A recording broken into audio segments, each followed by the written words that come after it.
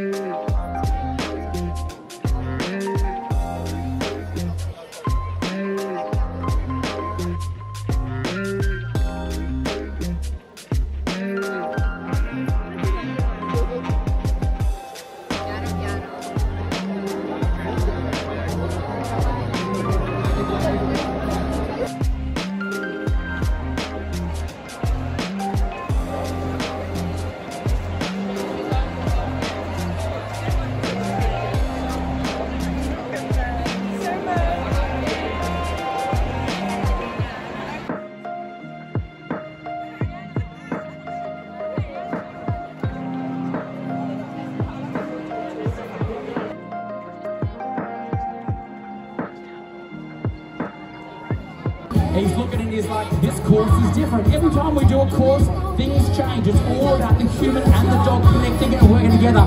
This is the wobble board and he's done it. Now they can either make a choice here, take the difficult road or the slightly easier road, but it's not easy. It's all about proprioception, knowing where the eyes are and the paws are totally different. It's all using that proprioception and the memory. Righto, when we're going to clean out that tunnel straight through. Mates and boys, let's get them up. A lot of difficulty here. This may be the first time they're going to do it. Unfortunately, the dog is like, nah, brah.